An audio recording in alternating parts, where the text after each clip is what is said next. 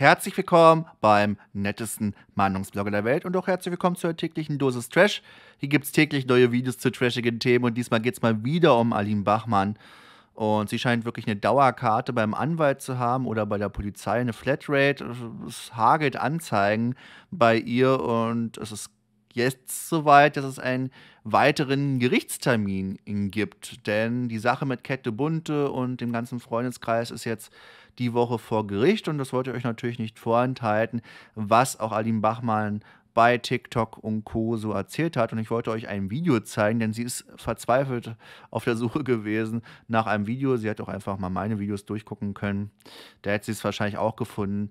Aber im Prinzip geht es um ein Video, wo sie gefilmt wurde, äh, was ich natürlich jetzt sicherheitshalber auch lieber auf privat gestellt habe, damit ich nicht Post bekomme, wo sie ja, äh, gefilmt wurde, wo sie bei der guten Kette Bunte persönlich vor Ort war und äh, mit Laptop und Adidas-Anzug äh, die Unterlassungsklage ihr persönlich überreichen wollte.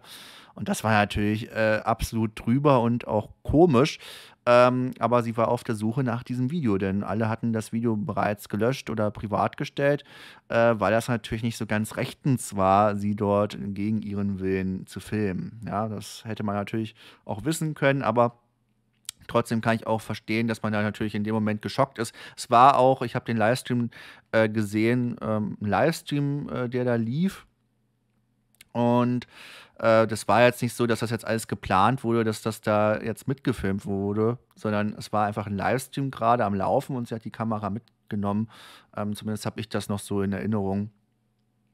Ähm, und ja, kann man jetzt schrecklich finden. Ich fand es allerdings eher merkwürdig, sie jetzt persönlich zu Hause zu belästigen. Also da könnte man auch sagen, okay, das geht mir jetzt zu weit, ich fühle mich jetzt hier belästigt. Das könnte man natürlich auch anzeigen.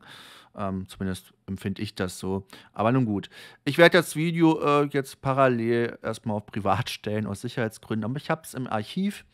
Äh, das ist ja auch ganz gut. Und ich bin auf jeden Fall gespannt, ähm, was sie jetzt noch an Abmahnungen rausschickt, die nächsten Wochen und Monate. Es ist ja wirklich unfassbar. Äh, ich zweifle auch langsam daran, ob das so ganz normal ist. Äh, ich, ich finde das jetzt nicht so korrekt, jetzt sämtliche Leute, die eigentlich passen, abzumahnen, aber das scheint momentan irgendwie in Mode gekommen zu sein. Und ich zeige euch jetzt mal das verzweifelte Video von der guten Aline Bachmann, äh, wo sie auch darüber spricht, äh, ja, was so Phase ist gerade und wie es jetzt weitergeht. Und ähm, sie hat am Ende auch das Video bekommen, also seid beruhigt. Es haben genug Leute auf dem Rechner und was daran jetzt so schlimm ist, sie bei der Aktion gefilmt zu haben, weiß ich jetzt auch nicht, denn andersrum könnte man das, wie gesagt, glaube ich, auch äh, anzeigen. Aber nun gut, äh, wir werden ja sehen, was beim Gericht dann äh, rauskommt. Sie wird uns ja wahrscheinlich auf dem Laufenden halten, aber seht jetzt erstmal selbst, was sie dort so im Livestream erzählt hat.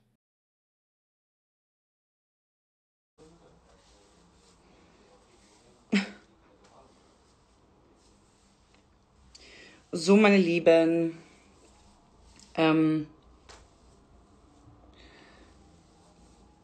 ich habe eine ganz, ganz wichtige, wichtige, wichtige, wichtige, wichtige, wichtige Frage. Ähm, mir geht es den Umständen entsprechend gut. Trotzdem habe ich ein ganz, ganz wichtiges Anliegen. Ich habe die Nacht fast gar nicht geschlafen. Ähm, ich habe morgen 9 Uhr einen wichtigen Gerichtstermin. Und da ja Saskia Fischer, Dennis, Marco, ähm, wer gehört noch zu dem Trott? Keine Ahnung. Es geht darum, wo ich damals da dieser Katja Schnabel versucht habe, die Unterlassungsklage vorbeizubringen, ähm, wurde ich ja gefilmt von Katja Schnabel. Ich kann auch gerne den Filter wegmachen, wenn sich hier wieder viele über den Filter aufregen. So, ohne Filter geht's nämlich auch. Ich bin auch ohne Filter schön.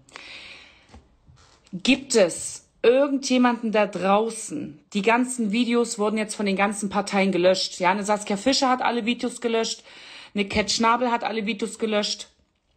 Wir haben viele Beweise, aber ich brauche für den morgigen Gerichtstermin unbedingt, unbedingt das Video, wo die mich gefilmt haben, wo ich mit der Unterlassungsklage bei ihrem Haus stand.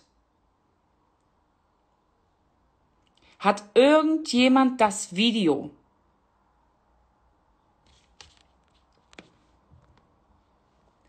Ich brauche das Video, wo Katja Schnabel einfach gemacht hat. Ich wurde von allen vier Parteien gefilmt, von Dennis, Marc, Saskia Fischer und Katja Schnabel. Und alle haben auf Instagram das Video gelöscht. Gibt's doch überall im Internet, oder? Ich habe es nirgendwo gefunden. Alle Parteien haben es gelöscht und ich brauche es morgen für den Gerichtstermin. Ich habe morgen 21, äh, 9 Uhr den Gerichtstermin, sonst keine Beweise. Natürlich habe ich Beweise. Guck mal, also wenn es um Beweise geht, habe ich natürlich von der Katja Schnabel hier ganz, ganz viel auf meinem Laptop. Aber das, was uns morgen für den Gerichtstermin hier sind, alles hier sind alles Beweise äh, übers Leben, Mobbing, zu fett, Aline Bachmann stinkt untenrum, hier, wo sie mit Minzi Eisel, wir haben alle Beweise da, auch alles schriftlich niedergelegen, wann sie wie, wo was gemacht hat, liegt alles vor für den Richter. Wir haben auch die Unterlassungsklage hier, über die sich so viele lustig gemacht haben. Es liegt alles vor. Ich brauche aber für morgen, für den Gerichtstermin, das Video, wo ich heimlich einfach gefilmt worden bin. Wenn irgendjemand das Video hat, bitte, bitte schickt es mir. Ich brauche es morgen 9 Uhr. Warum bist du heute so angepisst? Ich bin heute ein bisschen angepisst, weil ich gestern einfach meine Morddrohung bekommen habe, ja, dass mich irgendjemand abstechen will und ich einfach derzeit so viele Gerichtstermine habe wegen bestimmten Personen und ähm, zurzeit habe ich einfach echt viel an Bord.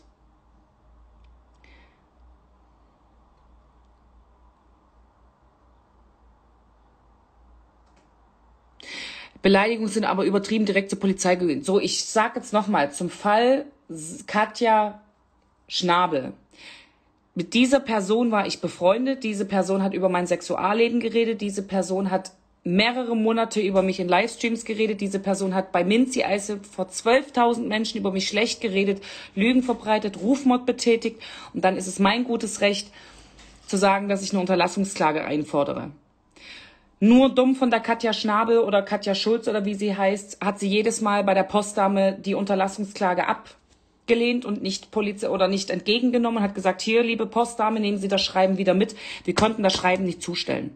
Jetzt das Ganze natürlich zivilrechtlich und strafrechtlich verfolgt worden. Sie wurde angezeigt von der Polizei und meine Anwältin ist dran. Aber ich brauche unbedingt dieses Video.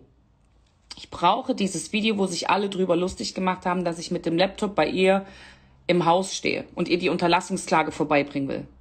Und warum habe ich diese Unterlassungsklage mit dem Laptop vorbeigebracht? Weil sie jedes Mal die Unterlassungsklage postialisch ablehnt. Und jetzt, wo es hart auf hart kommt, wo morgen ähm, es wirklich ums Ganze geht, brauche ich jetzt von irgendjemandem bitte das Video. Schickt's mir per Nachricht. Ich brauche das Video, wo Katja mich ohne Einverständnis einfach gefilmt hat. Ich weiß nicht, wer es von den Vieren war, aber ich wurde einfach gefilmt, als ich bei ihr vor der Haustüre stand und das ist strafrechtlich zu verfolgen. Das ist nicht in Ordnung. Und es wurde veröffentlicht. Also, wenn irgendjemand dieses Video hat, schickt's mir bitte per Nachricht oder per E-Mail offiziellerinebachmann.web.de. Ich brauche es, es muss morgen mit vorgelegt werden. Ich habe das Video, dann schick's mir. Dankeschön. In dem Ausschnitt war natürlich auch davon die Rede, dass sie eine Morddrohung bekommen hat kürzlich und sowas ist natürlich das allerletzte. Sollte das wirklich äh, der Wahrheit entsprechen, was man natürlich bei ihr mal in ein Fragezeichen setzen muss, dann würde ich das natürlich hier auch absolut eklig finden und bitte euch sowas nicht zu machen. Äh, auch irgendwelche Hate-Nachrichten müssen nicht sein. Verfolgt sie gerne, schaut meine Videos, schreibt in die Kommentare eure Meinung, aber äh, ich glaube, da verstehen wir uns, dass sowas dann halt wirklich zu weit geht, sollte das wirklich so passiert sein, wenn man muss bei ihr mal alles in ein Fragezeichen leider Gottes setzen. Ansonsten äh, finde ich es halt wirklich schon beachtlich, wie viele äh, Polizeibesuche, Anwaltsbesuche und Co. sie in der Regel äh, schon so durchgezogen hat. Auch mir wurde das schon angedroht. Ähm, ich bin gut rechtsschutzversichert, aber ich verstehe nicht, warum was, was soll die Scheiße, also wozu? Ähm, man kann ja auch sachlich mal miteinander in Austausch äh, kommen und äh, wenn sie Blödsinn baut, dann ist das auch vollkommen richtig, dass man es kritisieren darf, wenn sie alles öffentlich teilt. Ist das in der Öffentlichkeit, das Internet vergisst nun mal nicht und sie hat nun mal auch sehr viele Kritiker zu Recht angehauft, weil sie sehr viel Blödsinn gemacht hat. das ist jetzt kein Rufmord, ihr Kritik zu äußern. Allerdings gab es natürlich auch so Punkte, die sie dort angesprochen hat, wenn man jetzt sehr privat wird, ins Sexuelle reingeht, also wie ihr Sexualleben ist. Da gehe ich sogar mit ihr mit, dass man da sagen muss, ganz ehrlich, das muss jetzt nicht sein, man muss auch nicht beleidigend werden und Co. Allerdings ist sie auch kein Kind von Traurigkeit, das weiß ich auch intern, ja, dass sie da äh, verschiedenste äh, Dinge natürlich auch den Leuten selber auch schon geschrieben hat. Es gab ja auch Livestreams mit den Leuten. Ähm, also ob das jetzt so ganz normal dann am Ende ist, äh, wage ich jetzt auch zu bezweifeln. Ansonsten bleibe ich natürlich an dem ganzen Thema dran. Ihr könnt mich natürlich auch immer äh, ja, über Instagram und Twitter erreichen und mir dort Sachen schicken. Da bin ich am aktivsten. Und ich bin immer sehr dankbar dafür, dass ihr mir dort auch Sachen schickt, auch gerade zu Aline Bachmann. Und ähm, dann schaue ich natürlich den nächsten Wochen, ob ich da natürlich weiterhin äh, auch dranbleibe und halt auch Videos dazu abliefere für euch. Denn ich glaube, das wird nicht so schnell aufhören. Und ich glaube, das wird nicht die letzte äh, Gerichtsverhandlung und die, nicht die letzte Anzeige sein. Ähm, zumindest vermute ich das. Ich würde ihr raten, wenn sie da keine Flatrate beim Anwalt hat, vielleicht ein bisschen kürzer zu treten und zu sagen, okay, das muss doch jetzt nicht sein. Ja? Also es kostet auch nur unnötig Geld. Ja? Also so ein Anwalt kostet auch ganz gern mal 1000, 1200 Euro ähm, oder ein paar hundert Euro für so eine Abmahnung. Ich weiß das ja selber und äh, von daher ziemlich unnötige äh, Ausgaben, wie ich finde. Aber nun gut, das soll es dann ähm, zum heutigen Video schon gewesen sein. Ich wünsche euch dann einen wunderschönen Tag. Wir sehen uns dann die nächsten Tage wieder. Bis dann und ciao, ciao.